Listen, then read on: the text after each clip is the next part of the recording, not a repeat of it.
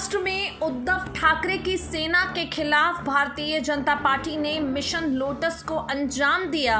Mission lotus पूरी तरह से कामयाब हुआ।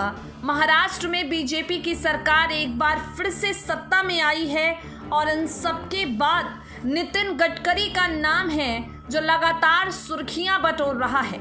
आपको बता दें, नितिन गडकरी को लेकर बीजेपी ने जिस तरह से बड़ा फैसला लिया जिस तरह से नितिन गडकरी को चुनाव समिति से बाहर किया, उसे लेकर उनके डिमोशन पर चर्चे हो रहे हैं और यहाँ केंद्रीय सड़क परिवहन और राजमार्ग मंत्री नितिन गडकरी बॉलीवुड सुपरस्टार अमिताभ बच्चन से मुलाकात करने के लिए चले गए हैं। दरअसल नितिन गडकरी ने भारत में राष्ट्रीय सड़क सुरक्षा मिशन का समर्थन अमिताभ बच्चन से मांगा है।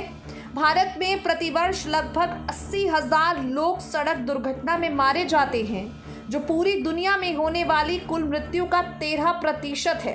सड़क दुर्घटना के ज़्यादातर मामले या तो लापरवाही की वजह से होते हैं या सड़क सुरक्षा जागरूकता की कमी के चलते।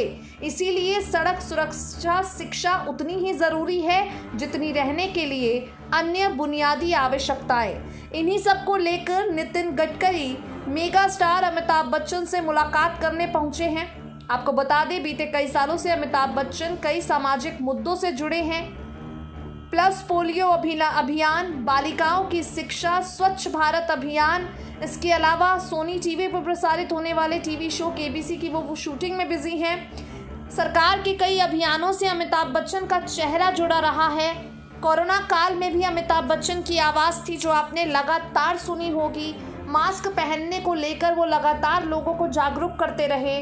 और अब नितिन गडकरी चाहते हैं कि अमिताभ बच्चन सड़क सुरक्षा नियमों को लेकर देश की जनता को जागरूक करें।